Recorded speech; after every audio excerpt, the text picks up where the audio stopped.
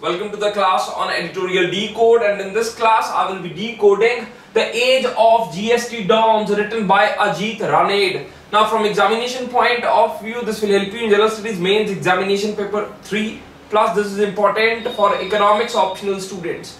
Now this editorial is about a change in the indirect tax landscape of India. So this is about a transition. It is a transition that is very phenomenal. It is a transition that is very substantive. It is a transition that will help India to be a unified India. So first of all we need to understand what new changes this GST will bring in about. Basically GST is about amalgamating the powers of taxation, indirect of indirect taxation of the states and of the central government. It is about the amalgamation of all the indirect taxes. It is about creating simplified regime of taxation. GST will do away with the various types of indirect taxes that we are having like the excise duties, like the entertainment tax, like the sale tax. Now, how will this help India? This will help India because presently what we are having is is the truncated and bifurcated system of indirect taxation where some taxes are applied by the central government and the other are applied by the state governments. And whatever taxes are applied by the state governments they are actually all different in different states. So this creates a problem of smooth transportation of the goods this creates a problem of competitiveness in the economy. This creates a problem of ease of doing business in the economy. This acts as a stumbling block. So GST is something that will simplify the things for an entrepreneur. It will simplify the things for the corporate sector. It will also simplify the things in the way the taxes will be collected. So GST will introduce two type of taxation. The one type of taxation will be done by the central government that will be known as central goods and service tax and the other will be states goods and service tax. So what and how much will be the taxation it will be decided by the GST council. Now what is this GST council? GST Council is a body that will involve the authorities that will be deciding about the GST and this authority body will be including the officials from the states and from the central government. So it is actually wrong to say that the states will lose the autonomy. States will actually be only doing away with their partial autonomy but not the complete autonomy.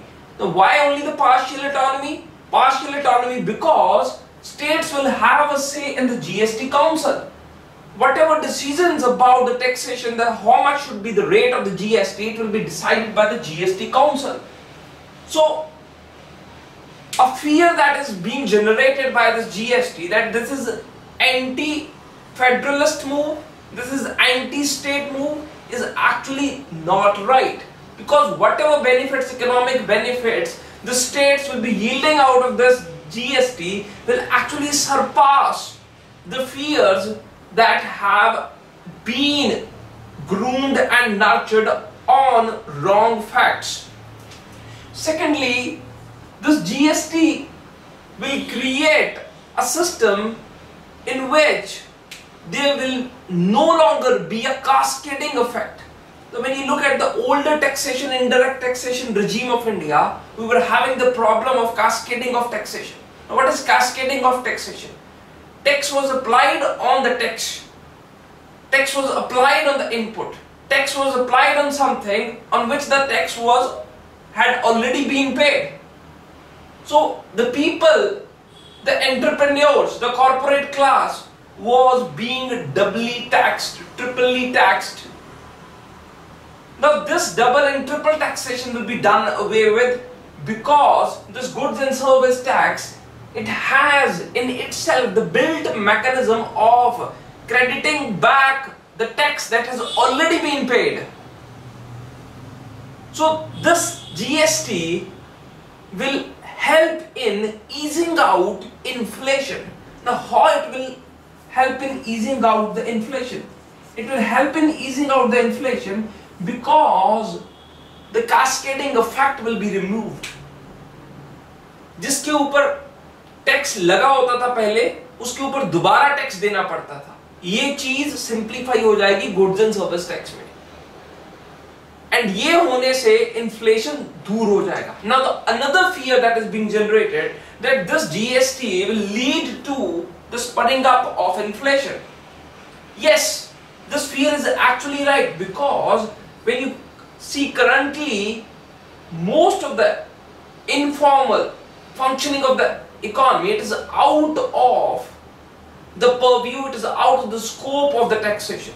But this GST will bring all that under its purview, under its scope. And when the things, when the services, when the goods that were lying outside the scope of this indirect taxation, they will be brought under this taxation regime, they are bound to increase in terms of their value. The price of those goods and services is bound to rise. So what we will see is a rise in the price of the fewer things.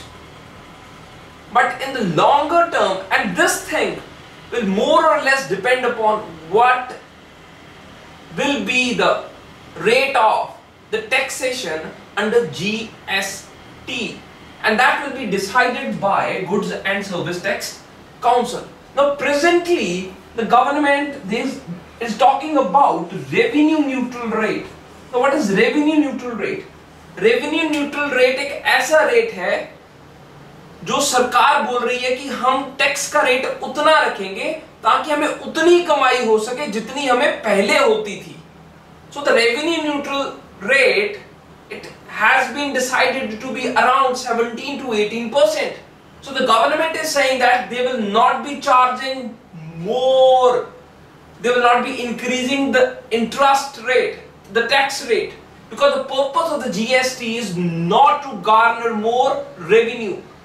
The purpose of the gst is to simplify the taxation regime. That might be the next goal, that might be the new goal, that might be a goal that is presently not the focus. The present focus is just to simplify the taxation regime.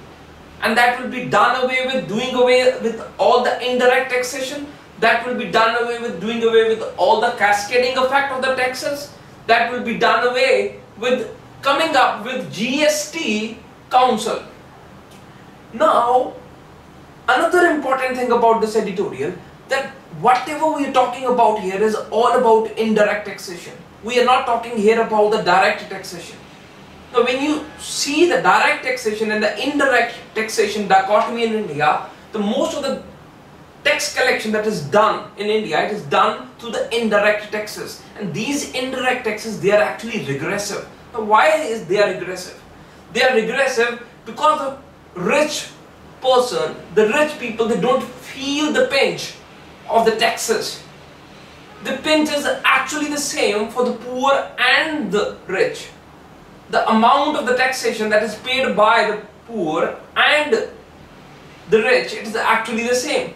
But the poor people find it really difficult to pay at the same level. If Dhirubhai Ambani is buying a packet of kurkures, he is paying the same amount of indirect taxation of what I am paying. But paying that amount of taxation, it pinches me more than what it pinches to Ambani's. So what we need is not only the indirect taxation reform, we also need the direct taxation reforms. We need to make the direct taxation more progressive. It means that the people who are earning in the range of 10 crore, 15 crore, 100 crore, they should be paying up more. Now what they are ending up paying is just 30% of the taxation. And apart from the 30% of the taxation, there are n number of avenues by which you can resort to tax evasion. So This is all about the indirect taxation change, a big change that is unfolded in our country. And now it is also the time for the direct change to direct tax change to unfold. So this was all for the editorial decode. You can subscribe to this channel. Name of the channel is Brainy IAS. You can contact me at 84594 in case you're interested in buying the video classes on entire civil services preparation. And in order to view the information of the classes, please visit my website brainyias.com. So this was all for the day. Bye bye. Take care. Have a nice nice day.